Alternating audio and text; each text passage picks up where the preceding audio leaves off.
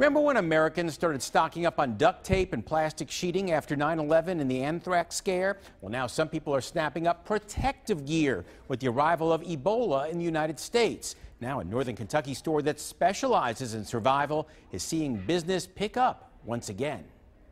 Here at the Land, Air, and Sea Military Surplus Store, business has been picking up ever since Ebola and ISIS began making headlines. MREs are very, very popular. Owner Scott Lane says survival supplies are now hot again. We do get a lot of people coming in asking about a lot of items, gas masks, preparedness, emergency food essentials, things like that.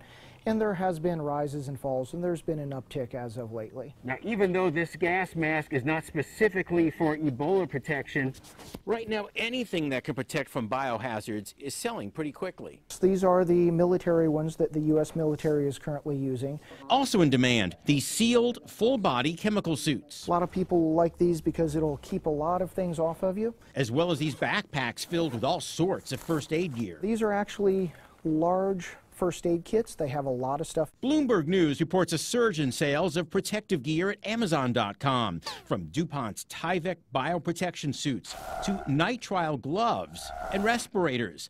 Bloomberg says a company called Life Secure can barely keep up with demand for its infection protection kit.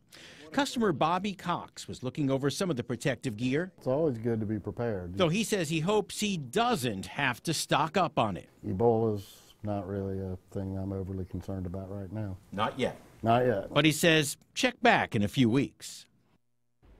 Epidemiologists tell the Huffington Post that there's no need to purchase protective gear. They say it would be impractical to wear a gas mask all day and say Ebola is not transmitted that way. Finally, it's